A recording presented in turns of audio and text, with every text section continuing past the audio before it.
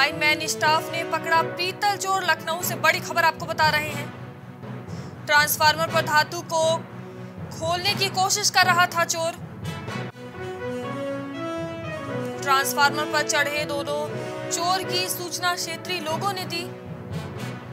Lineman पहुँचने से पहले एक चोर चकमा देकर फरार हुआ।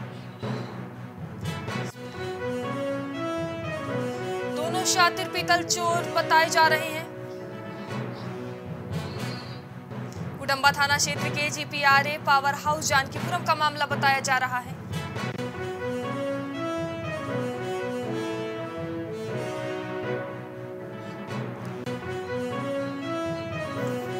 रामपुर में आज उप मुख्यमंत्री केशव प्रसाद मौर्य का आगमन, बड़ी खबर आपको बता रहे हैं। मुंडा पांडे हवाई पट्टी पर पहुँचे उप मुख्यमंत्री केशव प्रसाद मौर्य। कार्यकर्ताओं ने किया, उप मुख्यमंत्री का फूल मालाओं से स्वागत। जनसभा को संबोधित करेंगे उप मुख्यमंत्री केशव प्रसाद। प्रत्याशी आकाश सक्सेना के लिए जनता से वोट मांगेंगे। रामपुर में आज उप मुख्यमंत्री केशव प्रसाद का आगमन। मुंडा पांडे हवाई पट्टी पर पहुँचे उप मुख्यमंत्री केशव प्रसाद।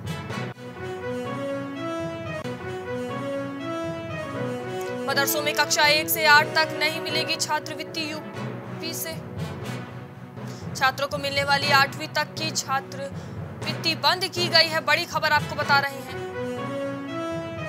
केंद्र सरकार ने रोक लगाई है। नौवीं और दसवीं के छात्रों को छात्रवृत्ति पहले की तरह ही मिलेगी। यूपी में मदरसों में कक्षा एक से आठ तक के नहीं मिलेगी छात्रवृत्ति। छात्रों को मिलने वाली आठवीं तक की छात्रवृत्ति बंद की गई है, बड़ी खबर आपको बता रहे हैं। बाइक सवार दो सिपाहियों को कार ने रौंदा है, गाजियाबाद से बड़ी खबर। गंभीर हालत होने पर सिपाहियों को अस्पताल में भर्ती कराया गया है। रात में गश्त करते समय हुआ हादसा। गाजियाबाद नगर कोतवाली के जीटी रोड का मामला है।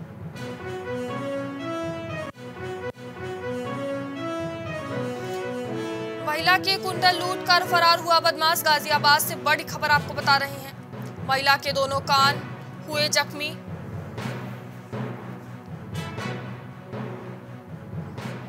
पंचशील की रहने वाली है महिला। पूरी घटना सीसीटीवी कैमरे में हुई कैद। वायरल वीडियो भी सामने आया है। थाना टीला मोड़ क्षेत्र के कोयल एनक्लेव की घटना बताई जा रही है। महिला के कुंडा लूट कर फरार हुआ बदमाश गाजियाबाद से, बड़ी खबर आपको बता रहे हैं। महिला के दोनों कान जख्मी हुए।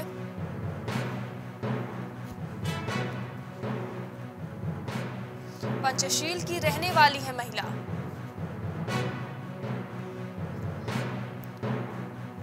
घटना सीसीटीवी कैमरे में कैद हुई।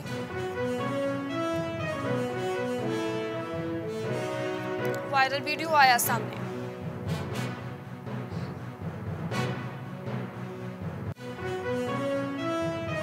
विकासनगर थाना क्षेत्र में घर में भीषण आग लगी है। लखनऊ से बड़ी खबर आपको बता रही है। थाने से चंद कदम की दूरी पर घर में आग लगी। सेक्टर चार में एक घर की दूसरी मंजिल में आग लगी है। स्थानीय पुलिस मौके पर मौजूद।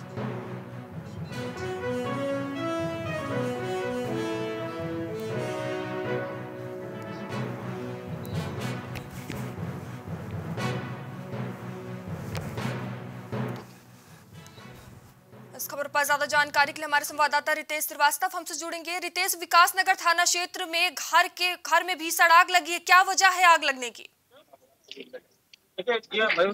जितनी बड़ी घटना है थाना क्षेत्र में, अभी साढ़े नौ बजे घटना हुई थी जिसमें सीवर की वजह से रोड बैठ गया था। उसके बाद उसी के, कुछ ही देर के बाद यहाँ एक उसकी घटना हुई है विकास नगर के सेक्टर चार में।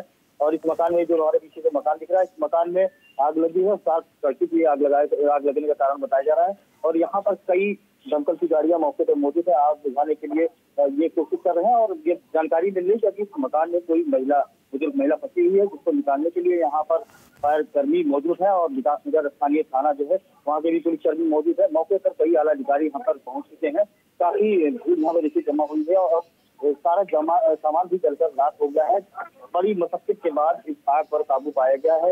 यहाँ पर कुछ क्षेत्रीय लोग जो है उनके साथ पूछने की कोशिश करते हैं।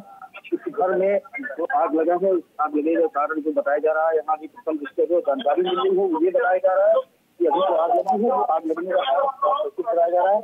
अभी भी आग की लपटे निकल रहे हैं एक बार कैमरा मैन से कुछ आग की लपटों अभी भी। घर में आप देख सकते हैं कि लकड़ी के जो चौखट है, उन पर आग बहुत जल्दी से पकड़ रहा है, जिसमें घर में सामान में बिस्तर वगैरह थे सभी जल करके रात हो गए हैं।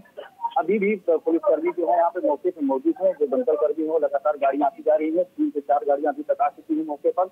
एंबुलेंस भी खड़ी की गई है।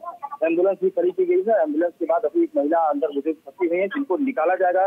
निकालने के बाद फिर उन्हें अस्पताल पहुँचाया जाएगा। हालाँकि यहाँ पे मौके पे कई आला अधिकारी मौके पर मौजूद हैं। हम एक बार उनसे भी जानने की कोशिश करते हैं।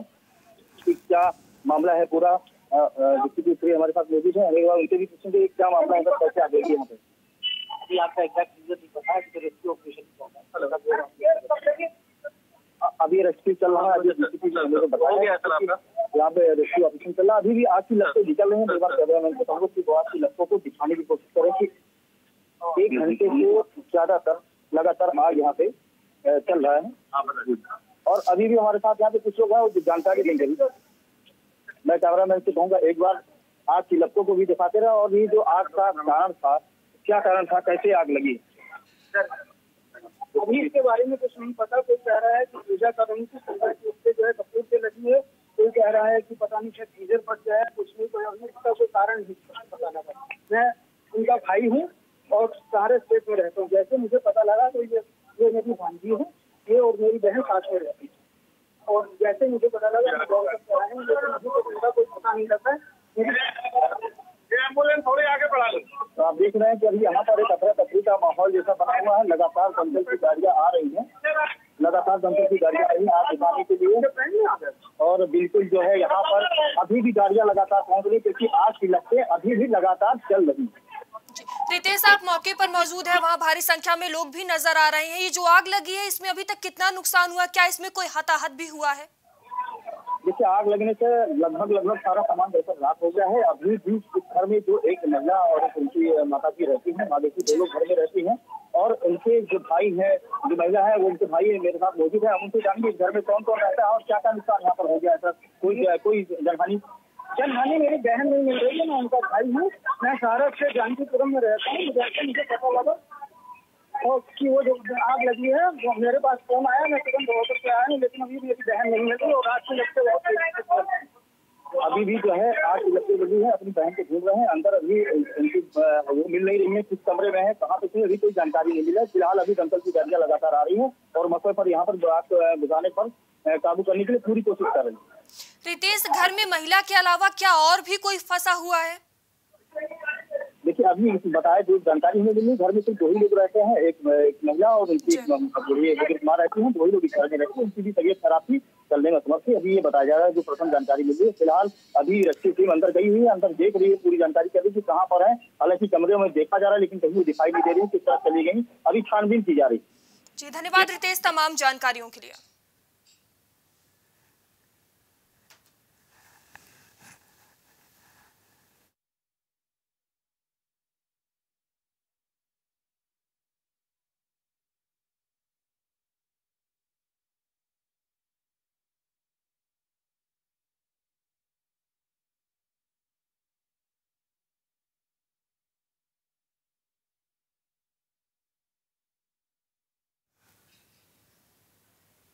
अब तक के लिए इतना ही। देश दुनिया की तमाम खबरों के लिए देखते रहिए प्राइम टीवी